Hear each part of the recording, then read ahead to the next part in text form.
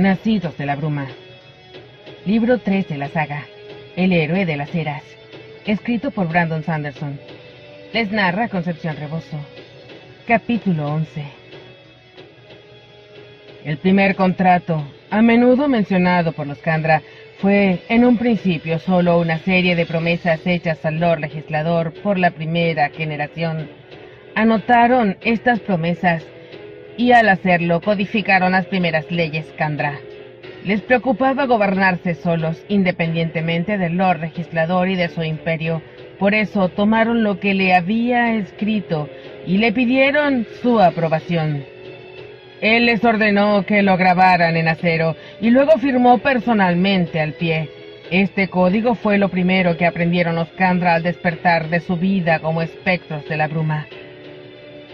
Contenía órdenes para reverenciar a las generaciones anteriores, sencillos derechos legales garantizados a cada uno, instrucciones para crear nuevos Kandras y una exigencia de dedicación total al Lord Legislador.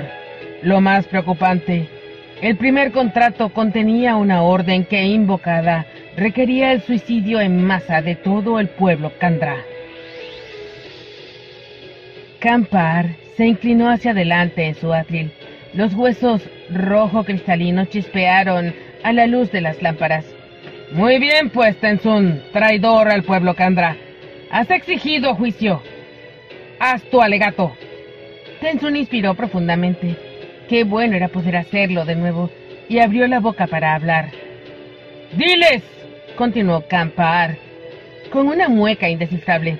Explica si puedes. ¿Por qué mataste a uno de los nuestros? A un compañero, Kandra.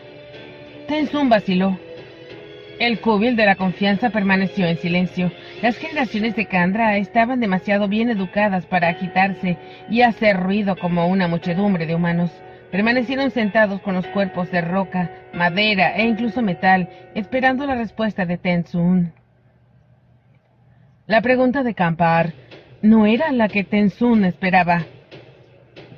Sí, maté a un Kandra, dijo Tenzun desnudo y helado en la plataforma. Eso no está prohibido. Tiene que estar prohibido, acusó Kampar señalando. Los humanos se matan los unos a los otros. Los colos se matan los unos a los otros, pero ambos pertenecen a ruina.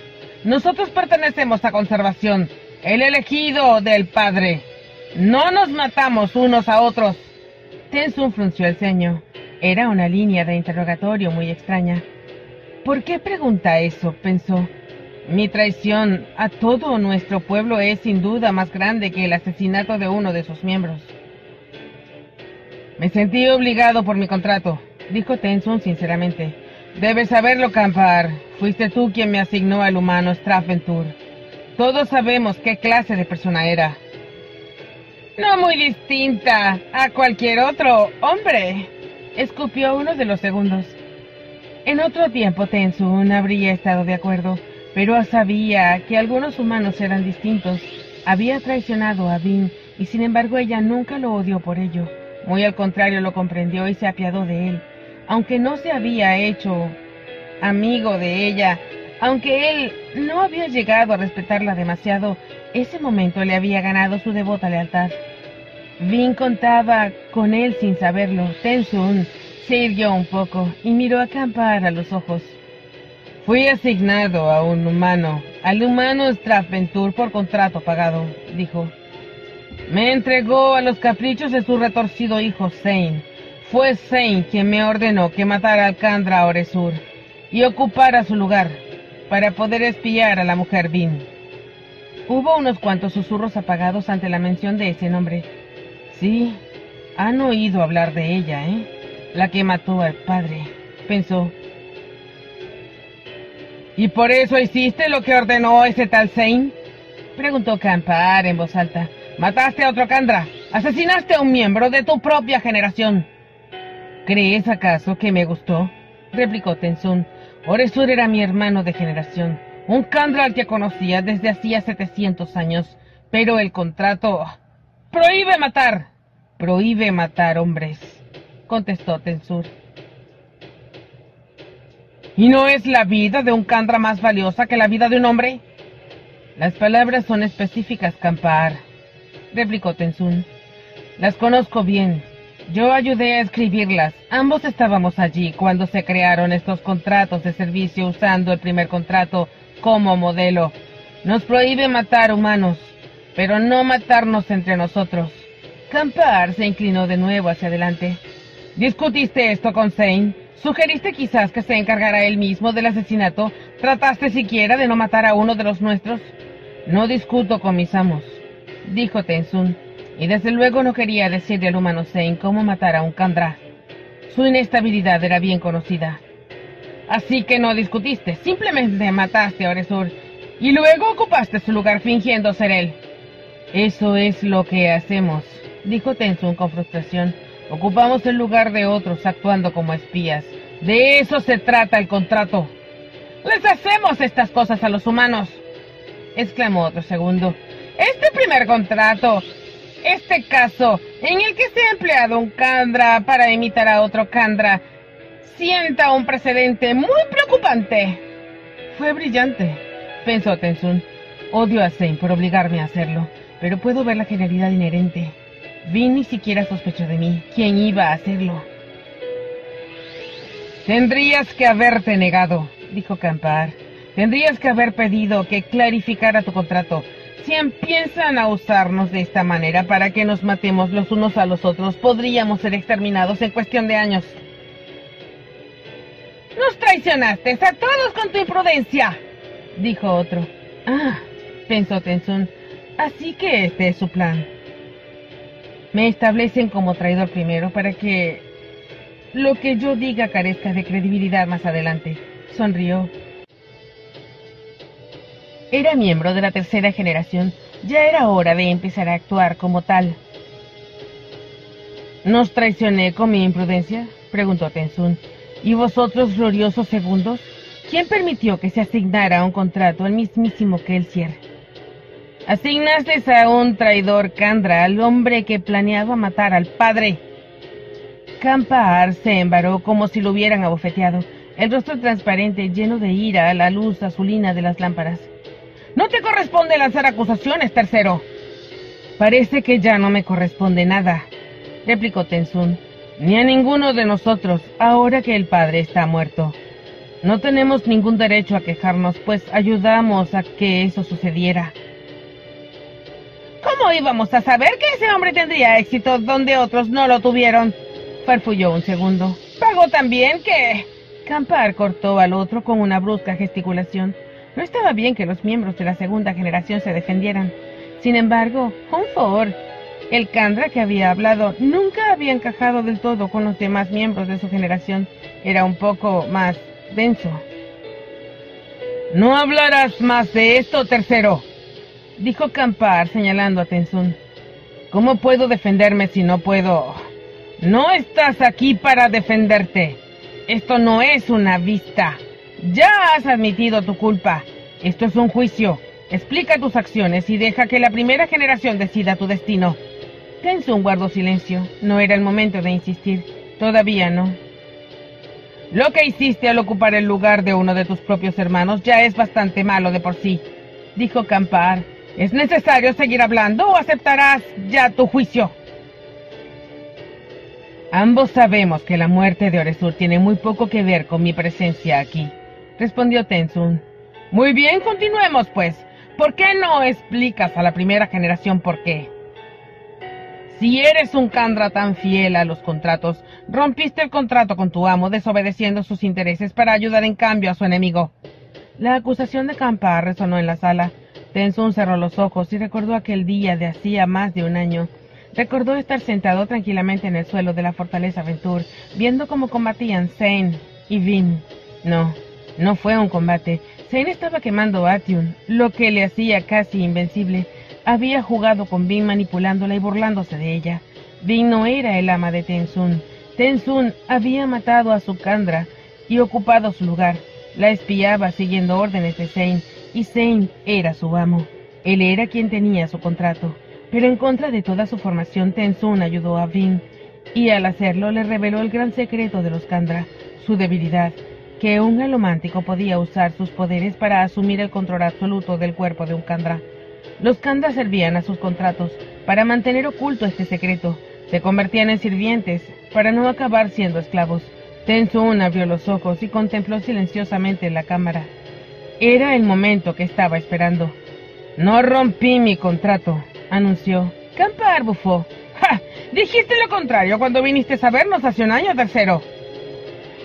Les conté lo que había sucedido, dijo Tenzun irguiéndose. Lo que no dije fue una mentira. Ayudé a Vin en vez de a Zane. Debido en parte a mis acciones, mi amo acabó muerto a los pies de Vin, pero yo no rompí mi contrato. ¿Estás dando a entender que Zane quería que ayudaras a tu enemigo? dijo Campar. No, contestó Tenzun. No rompí mi contrato porque decidí servir a un contrato superior, el primer contrato. El padre está muerto, exclamó uno de los segundos. ¿Cómo ibas a poder cerrar un contrato con él? Está muerto, dijo Tenzun. Eso es cierto. Pero el primer contrato no murió con él. Vin, la heredera del superviviente, fue quien mató al Lord Legislador. Ella es nuestra madre ahora. Nuestro primer contrato es para con ella. Tenzun había esperado escuchar gritos de blasfemia y condena. En cambio recibió un silencio de asombro. Campar permaneció de pie aturdido tras su adil de piedra. Los miembros de la primera generación guardaron silencio, como de costumbre, sentados en sus huecos de penumbra. Bien, pensó Tenzun, supongo que esto significa que debo continuar. Tuve que ayudar a la mujer, Vin, dijo. No pude dejar que Zane la matara, pues tenía un deber para con ella. El deber que comenzó en el momento en el que ella ocupó el lugar del padre. Campar al fin encontró voz. Ella, nuestra madre, mató al Lord Legislador y ocupó su lugar, dijo Tenzun. En cierto modo es una de nosotros. ¡Tonterías! exclamó Campar. Esperaba racionalizaciones, Tenzun. Quizás incluso mentiras. Pero, ¿estas fantasías? ¿Estas blasfemias? ¿Has estado fuera recientemente, Campar? Preguntó Tenzun. ¿Has dejado la tierra natal en el último siglo? ¿Comprendes lo que está sucediendo? El padre está muerto.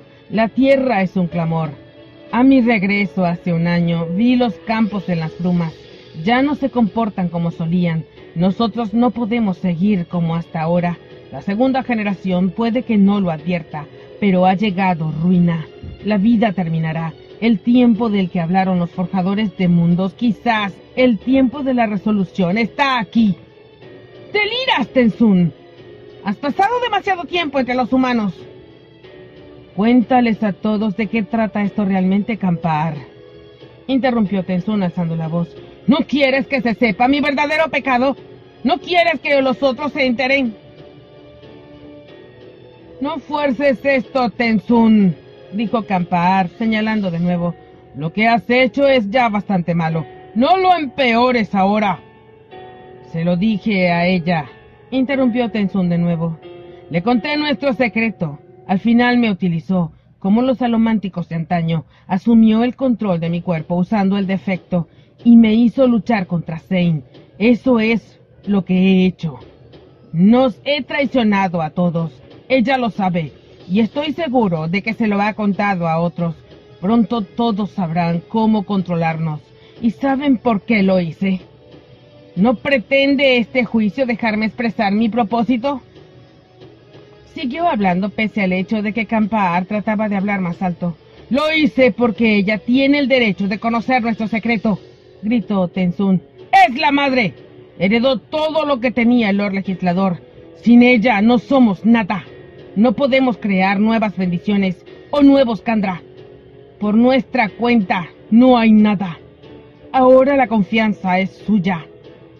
Debemos acudir a ella. Si esto es realmente el final de todas las cosas, entonces vendrá la resolución. Ella... ¡Basta! chilló Campar.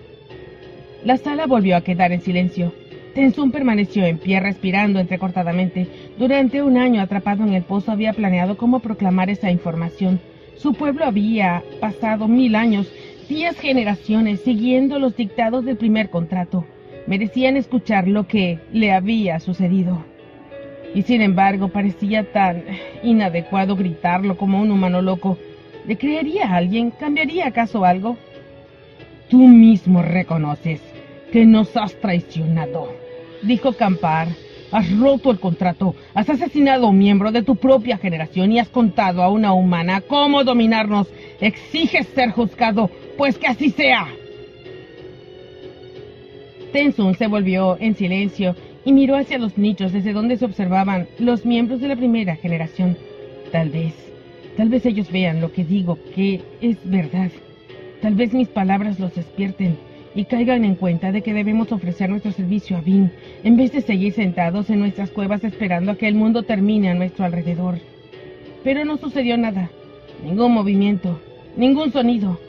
En ocasiones Tensun se preguntaba si aún vivía alguien allá arriba, no había hablado con ningún miembro de la primera generación desde hacía siglos. Limitaba sus comunicaciones estrictamente a los segundos.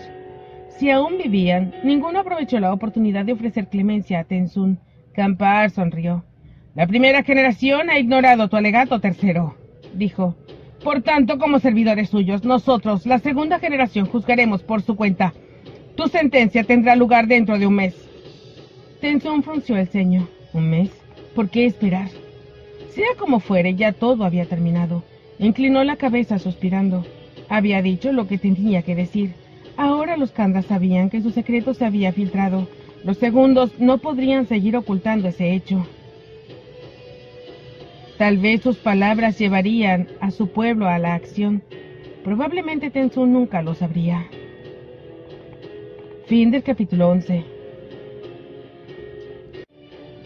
Capítulo 12. Rashek trasladó el pozo de la ascensión, obviamente. Fue muy astuto por su parte, quizás lo más inteligente que hizo.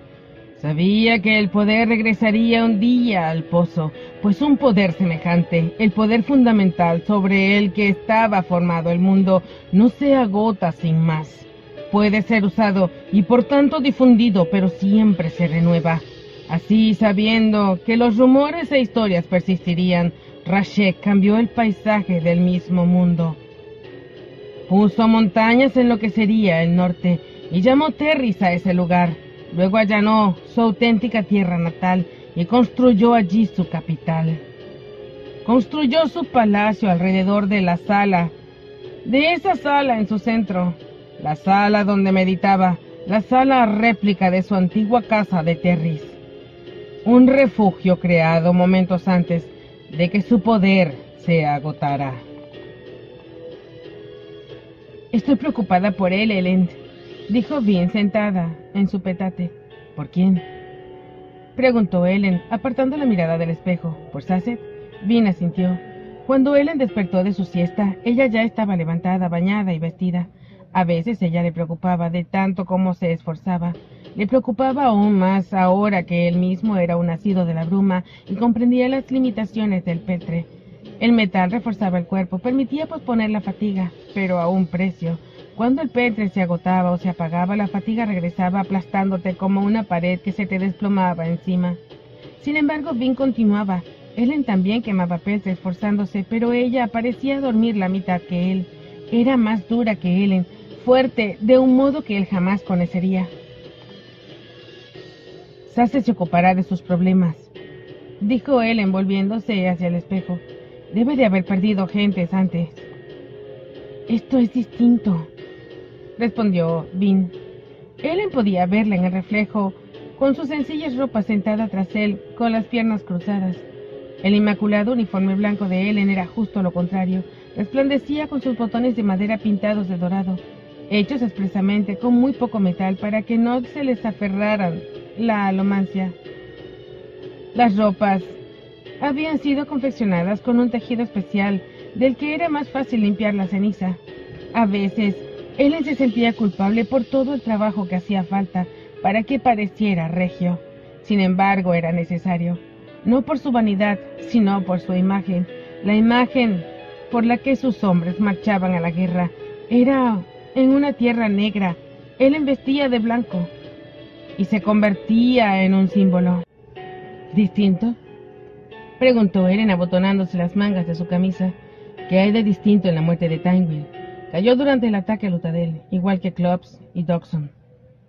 Tú mataste a mi propio padre en esa batalla, y yo decapité a mi mejor amigo poco después. Todos perdimos gente. Él dijo algo parecido, contestó Vin, pero para él es algo más que solo una muerte. Creo que ve... Creo que ve una especie de traición en la muerte de Tynwell. De nosotros, siempre fue él el que tenía fe. De algún modo la perdió cuando ella murió. ¿El único de nosotros que tenía fe? Preguntó él encogiendo un alfiler de madera pintado de plata de la mesa y colocándoselo en la casaca. ¿Y eso? Tú pretendes pertenecer a la iglesia del superviviente Ellen, dijo Vin, pero no tienes fe. No como la tenía Sasset. Fue como si supiera que todo iba a salir bien. Confiaba en que algo, en que algo vigilaba el mundo. Lo superará. No es solo él, Ellen. Brisa intenta, con demasiada fuerza también. ¿Qué quieres decir?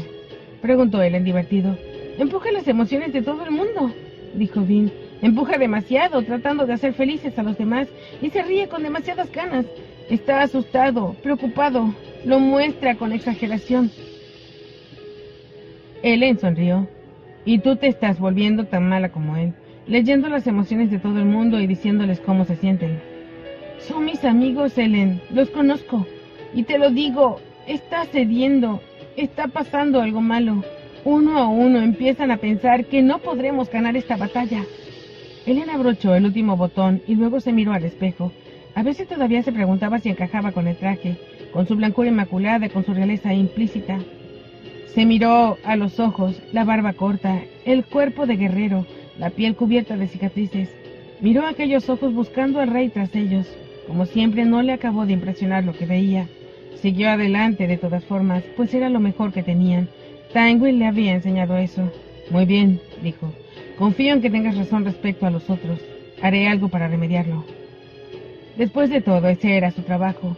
El título de emperador llevaba consigo un solo deber, Mejorarlo todo.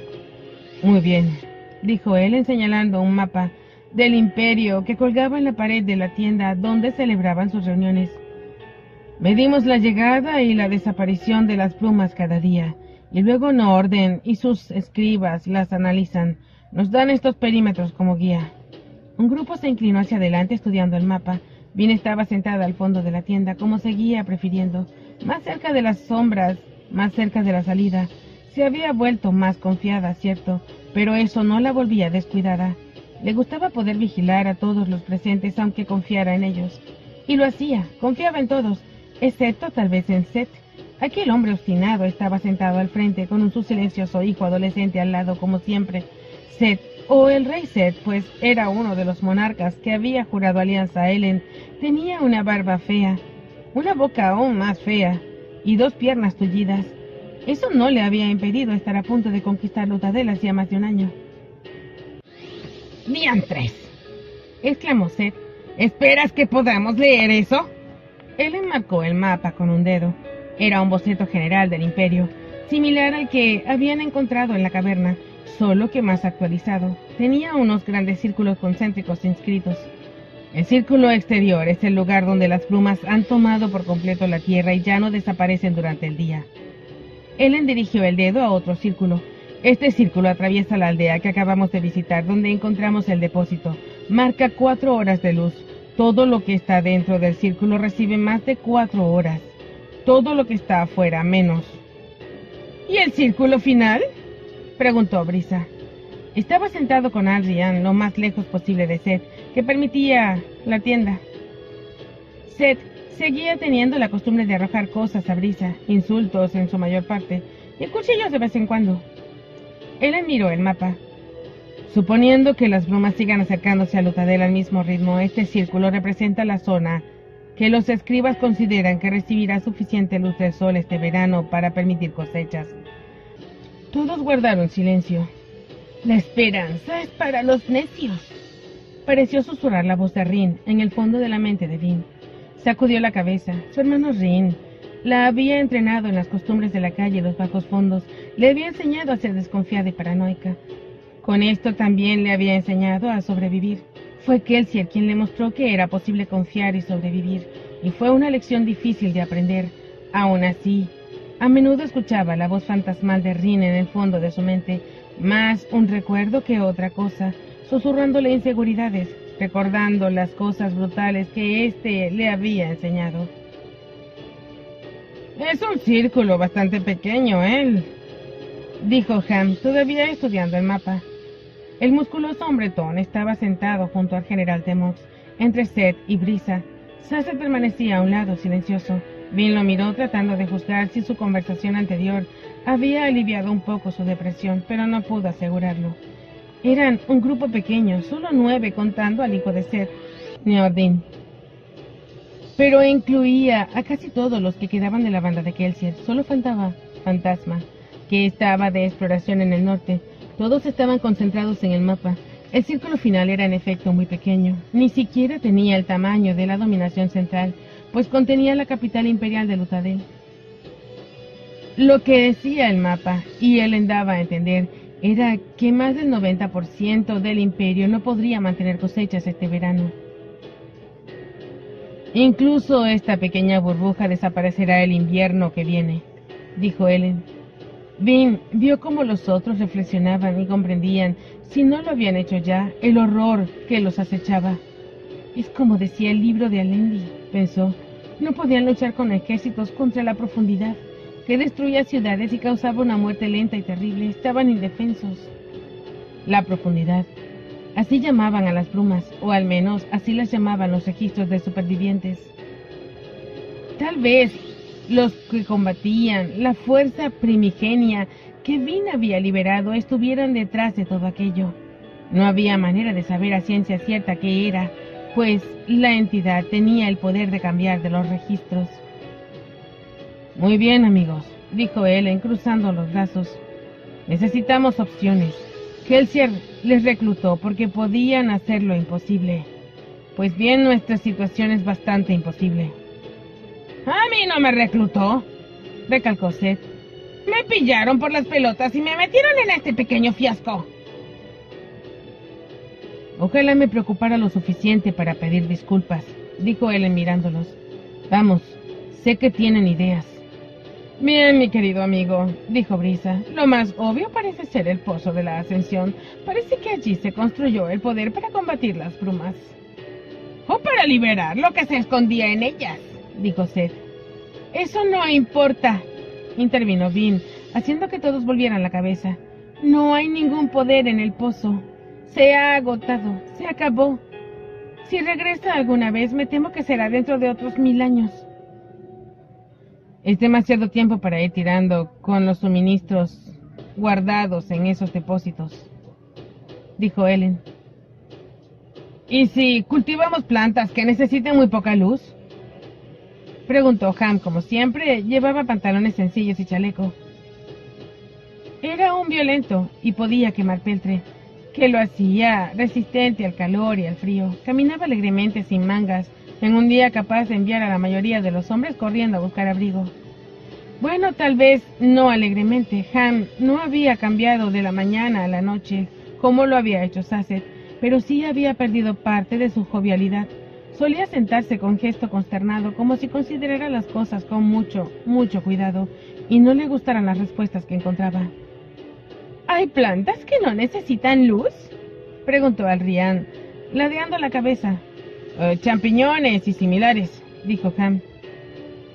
Dudo que podamos alimentar a todo un imperio a base de champiñones, dijo Ellen, aunque no es mala idea. También tiene que haber otras plantas, continuó Ham. Aunque las brumas salgan de día, algo de luz debe de pasar. Algunas plantas tienen que poder sobrevivir con eso, ¿no? Plantas que no podemos comer, mi querido amigo, recalcó Brisa. Sí, pero tal vez los animales puedan, contestó Ham. Elena sintió pensativo. Nos queda muy poco tiempo para dedicarnos a la puñetera horticultura, advirtió Seth. Tendríamos que habernos puesto a trabajar en esto hace años. No sabíamos que casi nada, nada de esto hace, hasta hace pocos meses, dijo Ham. Cierto, afirmó él.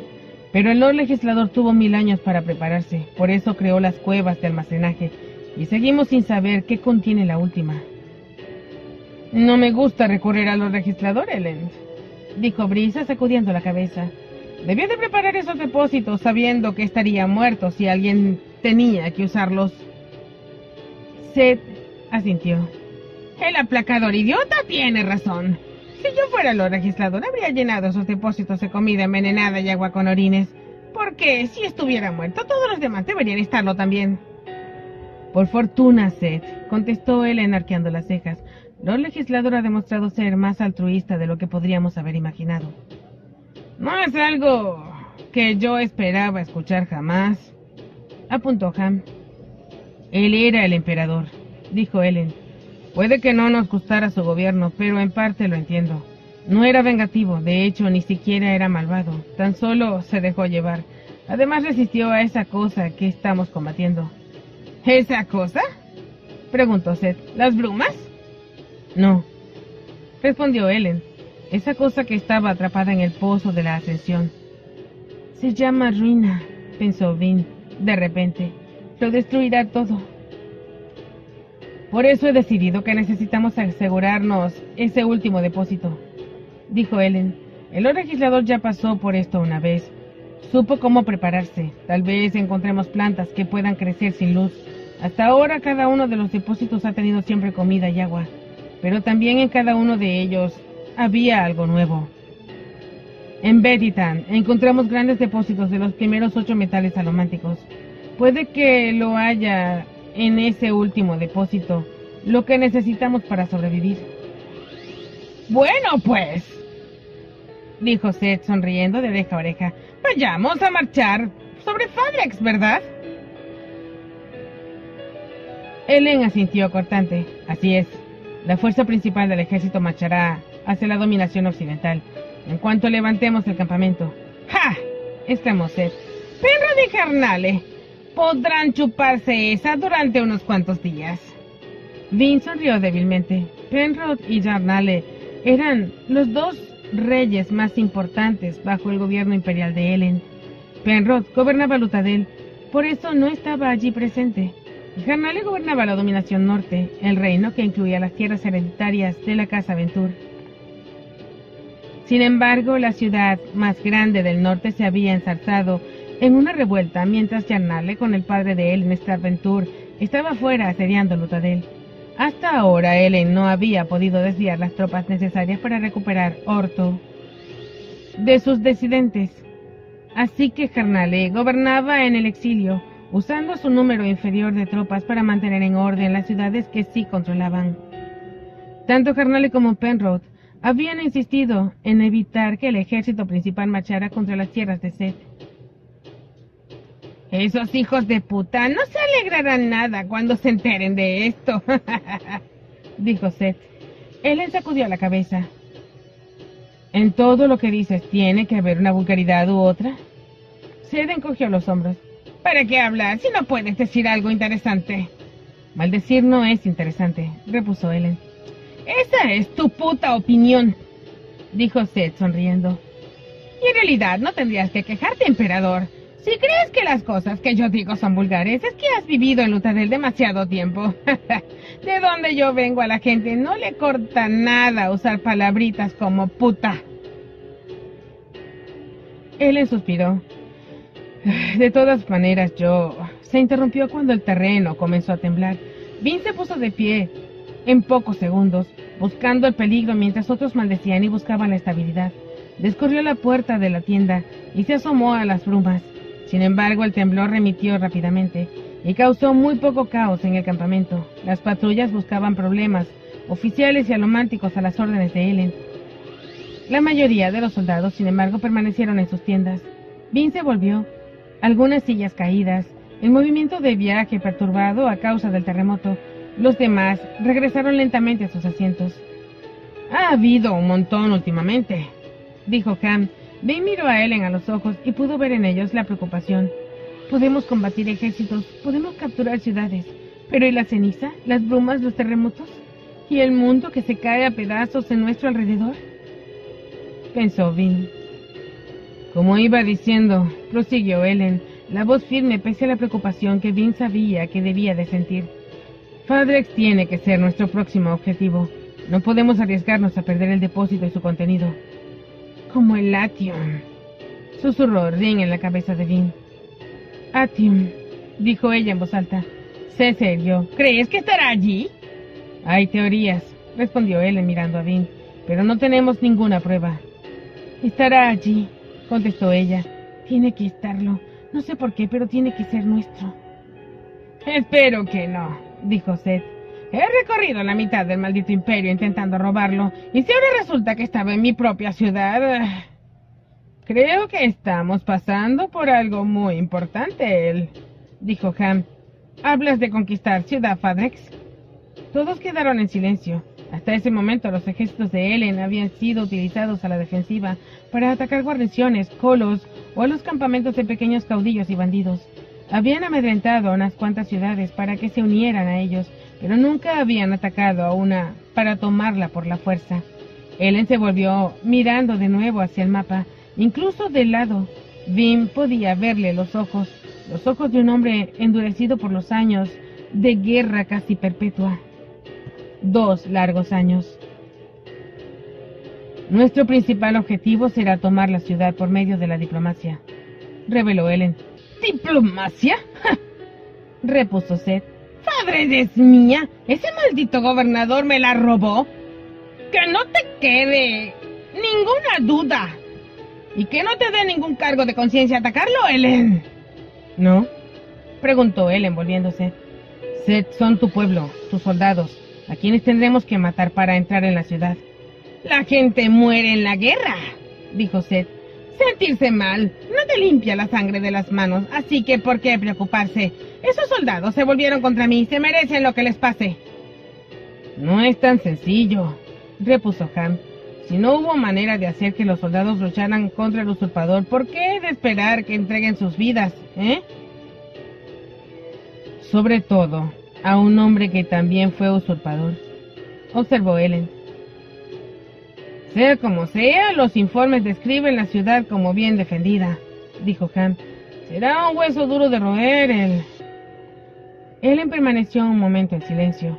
Luego miró a Seth, que seguía pareciendo inadecuadamente satisfecho de sí mismo, como si los dos compartieran algo, una comprensión. Ellen era un maestro de la teoría y con toda probabilidad había leído más que nadie sobre la guerra. Seth parecía tener un sexto sentido para la guerra y las tácticas, y había sustituido a Klops como el principal estratega militar del imperio. ¡Asedio! dijo Seth. Ellen asintió. Si el rey Jomen no responde a la diplomacia, la única manera de entrar en la ciudad sin matar a la mitad de nuestros hombres al hacerlo es asediándola y volviéndolos desesperados. ¿Tenemos tiempo para eso, él? preguntó Ham, frunciendo el ceño. Además de Orto, dijo Ellen, Ciudad Fadrex y las zonas adyacentes son las únicas secciones importantes de las dominaciones inferiores que mantienen un ejército lo bastante fuerte como para representar una amenaza. Eso, más el depósito, significa que no podemos permitirnos dejarlo sin más. En cierto modo, el tiempo está de nuestra parte, dijo Seth rascándose la barba. No se ataca a una ciudad como Fadreham. Tiene fortificaciones, una de las pocas ciudades, además de Lutadel, que podrían repeler un ejército. Pero como está fuera de la dominación central, probablemente ya necesita alimentos. Elena sintió. Mientras que nosotros tenemos todos los suministros que encontramos en los depósitos de almacenaje, si bloqueamos la carretera y nos hacemos del canal, ellos tendrán que rendir la ciudad tarde o temprano. Aunque hayan encontrado el depósito, cosa que dudo, podremos superarlos. Han frunció el ceño. Supongo que... Um, ah, además, añadió Ellen interrumpiéndolo, si las cosas se ponen feas, tenemos unos veinte mil colos a los que podemos recurrir. Ham marcó una ceja, aunque no dijo nada.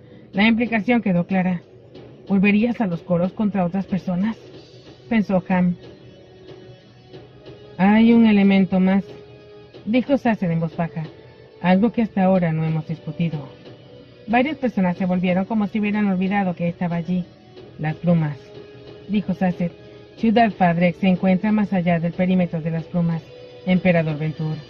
Someterás a tu ejército a un 15% de bajas antes de poder llegar siquiera a la ciudad. Ellen guardó silencio. Hasta ahora había conseguido mantener la mayor parte de sus soldados fuera de las brumas.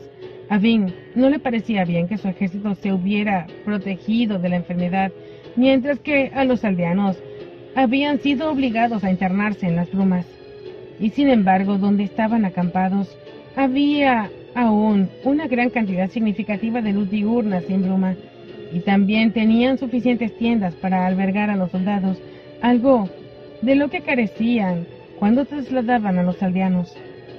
Las brumas rara vez penetraban en las edificaciones, incluso en las de lona. No había habido ningún motivo para arriesgarse a matar a algunos de los soldados, ya que habían podido evitarlo. A Bing le parecía hipócrita, pero hasta ahora habían tenido éxito. Él le miró a Saced a los ojos. Es un buen argumento, dijo. No podemos proteger eternamente a los soldados. Obligué a los aldeanos a que se inmunizaran a los de Betitan. Y sospecho que tendré que hacer lo mismo con el ejército, por los mismos motivos. Vin continuó callada. A menudo anhelaba los días en los que no tenía nada que ver con la toma de decisiones, o mejor todavía, los días en los que Ellen no se veía obligado a tomarlas. Marcharemos hacia Fadrex, repitió Ellen, volviéndose, y señaló el mapa. Si vamos a superar esto, y me refiero a todos los habitantes del nuevo imperio, vamos a tener que agruparnos y concentrar nuestras poblaciones cerca de la dominación central. Será el único lugar donde podrá cultivarse comida este verano y necesitaremos toda la mano de obra que podamos encontrar para despejar ceniza y preparar los campos. Eso significa tomar bajo nuestra protección a la gente de Fadrex. También significa, añadió señalando la sección noreste del mapa, que tendremos que reprimir la rebelión en Orto. La ciudad no solo contiene un depósito de almacenaje con grano que necesitamos desesperadamente para una segunda plantación en la dominación central, sino que los nuevos legisladores de la ciudad están formando un ejército. Orto está peligrosamente cerca de Lutadel, como descubrimos cuando nos atacó mi padre. No consentiré que eso se repita. No tenemos suficientes soldados para marchar sobre ambos frentes a la vez, él protestó Ham. Ellen asintió. Lo sé. De hecho, prefiero evitar marchar sobre Orto. Era la sede de mi padre. La gente tenía buenos motivos para rebelarse contra él. Demox, informe. Demox se levantó. Ah, tenemos un mensaje inscrito en el acero de fantasma mientras su majestad estaba fuera. El muchacho dice que la facción que controla Orto está compuesta por rebeldes Ska. Eso parece prometedor, advirtió Brisa. Nuestro tipo de gente. Son eh, algo rudos con los nobles, Lord Brisa, explicó Demos. Eh, incluyen en ese grupo a todo que tenga parientes nobles. Un poco extremista, creo yo, dijo Ham. Mucha más gente pensaba que Kelsier era extremista, repuso Brisa. Estoy seguro de que podemos hacer entrar en razón a estos rebeldes. Bien, concluyó Ellen, porque cuento contigo y con Sasset para tener a Orto bajo control sin hacer uso de la fuerza. Solo hay cinco depósitos y no podemos permitirnos el perder ninguno. ¿Quién sabe qué descubriremos en Fadrex? Puede que tengamos que volver a los otros depósitos para encontrar algo que pasamos por alto. Se volvió y miró primero a Brisa y luego a Sasset. No podemos sacar la comida de Orto, advirtió. Si la rebelión de la ciudad se extiende, todo el imperio se haría añicos. Tenemos que poner a esa gente de nuestro lado. Los miembros del consejo asintieron igual que Vin.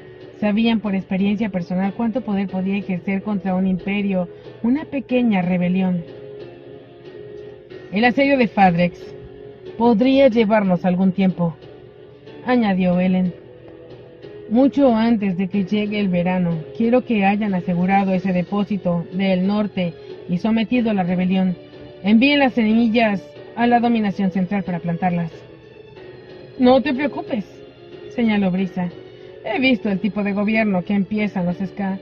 Para cuando lleguemos, la ciudad estará ya al borde del colapso. De todas formas, es posible que se sientan aliviados al recibir una oferta de unirse al nuevo imperio. Sean cautelosos, sugirió Ellen. Los informes de fantasma han sido escasos. pero parece que las tensiones en la ciudad son extremas. Enviaremos unos pocos cientos de soldados como ustedes como protección. Miró de nuevo el mapa, entornado levemente los ojos. Cinco depósitos, cinco ciudades. De algún modo Ortos forma parte de todo esto. No podemos permitirnos el perderla. Majestad, ¿es necesaria mi presencia en este viaje? preguntó Sasset. Él enfrunció el ceño y lo miró. ¿Tienes algo mejor que hacer, Sasset? Hay estudios que quisiera realizar. Como siempre respeto tus deseos. Recordó Ellen. Si crees que esos estudios son más importantes, son de naturaleza personal, Majestad. ¿Podrías hacerlos mientras ayudas en Orto? Preguntó Ellen. Eres terrizano, y eso te concede una credibilidad que ninguno de nosotros puede reclamar. Además, la gente te respeta confía en ti, Sasset, con buenos motivos. Brisa, por otro lado, tiene una especie de reputación. Trabajé duro para labrármela, ya sabes, dijo Brisa. Me gustaría tenerte al frente de todo este equipo, Sasset. No se me ocurre un embajador mejor que el sagrado testigo. Fue imposible leer la expresión de Sasset. Muy bien, dijo por fin. Haré lo que pueda, Ellen. Bien, asintió Ellen, volviéndose para mirar al resto del grupo. Entonces hay una última cosa que tengo que pedirles a todos. ¿Cuál? preguntó Seth. Ellen vaciló unos instantes, mirando por encima de sus cabezas con aspecto pensativo. Quiero que me hablen del superviviente, dijo por fin. Era el señor de las plumas, respondió Demos de inmediato. No me vengan con retórica, protestó Ellen. Que alguien me hable del hombre Kelsier. No llegué a conocerlo, bien lo saben. Lo vi una vez justo antes de que muriera, pero no lo conocí. ¿Y qué sentido tiene? preguntó Seth. Todos hemos oído las historias. Es prácticamente un dios si haces caso a los Ska. Hagan lo que les pido. La tienda permaneció unos instantes en silencio. Finalmente Ham intervino, que él era grandioso. No era solo un hombre, era mucho más. Todo lo que hacía era grande, sus sueños, su forma de hablar, su manera de pensar. ¿Y no era falso? añadió Brisa. Noto cuando un hombre es falso, en realidad. Por eso empecé a trabajar con Kelsier. Entre tanta gente falsa, él era auténtico. Todos querían ser el mejor. Kelsier lo era. Era un hombre, dijo Vin en voz baja. Solo un hombre. Sin embargo, siempre sabía que iba a tener éxito. Te hacía ser lo que quería que fueras. Para así poder usarte, repuso Brisa. Pero eras mejor cuando acababa contigo, añadió Ham.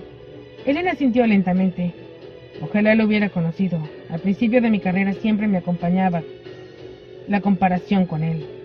Cuando oí hablar de si él ya estaba convirtiéndose en una leyenda, era injusto obligarme a intentar ser él, pero me preocupaba de todas formas. Bueno, los que lo conocen, los que los conocieron, tal vez puedan contestarme otra pregunta. ¿Qué creen que diría si nos viera ahora?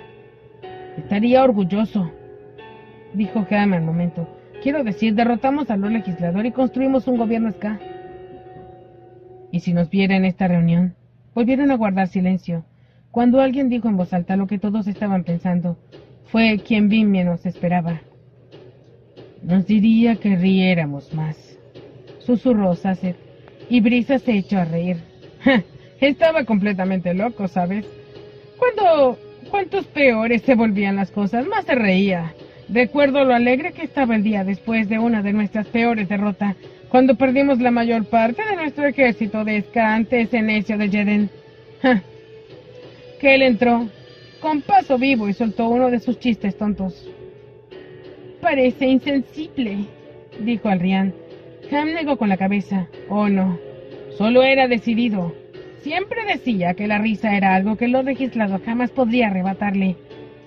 Planeó y llevó a cabo el derrocamiento de un imperio de más de mil años, y lo hizo como una especie de penitencia por dejar que su esposa muriera pensando que la odiaba.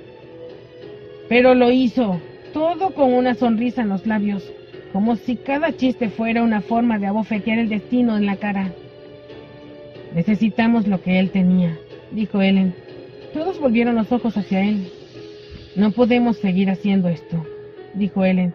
Discutimos entre nosotros, nos desanimamos, viendo caer la ceniza, convencidos de que estamos condenados. Y Brisa se echó a reír. no sé si notaste el terremoto de hace unos minutos, mi querido amigo, pero el mundo parece estar llegando a su fin. Es un hecho indiscutiblemente deprimente. Él negó con la cabeza. Podemos sobrevivir a esto, pero la única forma en que esto sucederá es si nuestra gente no se rinde. Necesitan líderes que rían, líderes que se sientan que esta batalla se puede ganar. Así que esto es lo que les pido. No me importa si son optimistas o pesimistas, no me importa si se preocupan en secreto o si piensan que todos estaremos muertos antes de que acabe el mes. Por fuera quiero verlos riendo, hacerlo de forma desafiante si es necesario. Y si llega al final, quiero que este grupo se enfrente al final sonriendo, como nos enseñó el superviviente. Lentamente los miembros de la banda antigua asintieron. Incluso Sasset, aunque su rostro parecía preocupado. Seth simplemente sacudió la cabeza. ¡Ja! Están locos. Nunca sabré cómo acabé con ustedes. Y Brisa rió. Eso es mentira, Seth. Sabes perfectamente cómo acabaste uniéndote a nosotros. Amenazamos con matarte si no lo hacías. Él miraba a Abby. Ella lo miró a los ojos y asintió. Había sido un buen discurso. No estaba segura de que sus palabras fueran a cambiar nada. La banda nunca volvería a ser lo que había sido antes, riendo cada noche a sus anchas en torno a la mesa de clubs. Sin embargo, tal vez, si recordaban la sonrisa de Kelsier, sería menos probable que olvidaran por qué seguían luchando. Muy bien, gente, culminó Ellen. Empecemos los preparativos. Prisa, Sasset, Alrian. Necesito que hablen con los escribas para calcular los suministros de vuestro viaje. Ham envía un mensajero a Lutadel y dile a Penrod que ponga a sus estudiosos a trabajar en las plantas de cultivo que puedan crecer con muy poca luz. Demos, transmite la noticia a los hombres. Partimos mañana. Fin del capítulo 12. Hasta la próxima y que tengan el mejor de sus días. Y bueno, pues en vista de la situación actual que estamos viviendo, les pido pues muy encarecidamente que se queden en sus casas, que tengan las mayores precauciones cuando salgan a comprar los alimentos y suministros para no contagiarse. el mejor, la mejor cura de esta, de esta invasión viral es la prevención. Y bueno, yo estoy este, en mi casa presa desde hace ya 14 días casi. Eh, no he salido sino nada más que dos veces, una a buscar agua y otra a buscar algo de comer. Eh, lastimosamente, obviamente, para aquellos que no tenemos un empleo fijo y que trabajamos así, digamos, matando tigre, uno aquí, uno allá, significa que nuestros ingresos pues se ven en cero, absolutamente en cero, porque no podemos trabajar. Así que obviamente, este, mis finanzas, como siempre, estoy en quiebra. Yo no sé qué es lo que me pasa, que tengo más de dos años de quiebra. Estoy aburrida de ser pobre. Así que bueno, aquellos que puedan y quieran pueden hacer sus donativos a través del portal de PayPal, ya no por Western Union, porque obviamente no puedo salir a la calle con libertad como antes. En vista de la situación actual, pues no quisiera ser contagiada y que mi familia se contagie por culpa mía, y mucho menos tengo intenciones o tengo algún tipo de prescripción de morir este año, no quisiera. Eh, y, además, pues no quiero que se priven ustedes es su narradora favorita, ¿verdad? Ay, qué modestia la mía. Bueno, aquellos que puedan ayudarme de verdad, estaré muy agradecida. El monto que quieran y puedan, para mí será una bendición. Un millón de gracias y sobre todo aquellos que me preguntaron por mi salud, de verdad estoy muy agradecida de que se preocupen por mí. Estoy bien, encerrada en casa. Sigo pobre, pobre, pobre, pobre, pero estoy viva y bien, buena de salud. Y bueno, haciendo los videos en la medida de lo posible y enviándolos a una amiga para que me los suba a internet. Así que, bueno, estoy en eso. Haciendo milagros para que ustedes puedan disfrutar de estos capítulos. Espero que estén bien, respeten las normas de cuarentena, estén pendientes de las de, las, los tips para prevenirse y no contraer el virus, que es lo más importante, no contraerlo. No hagan compras nerviosas, pues que eso crea escasez.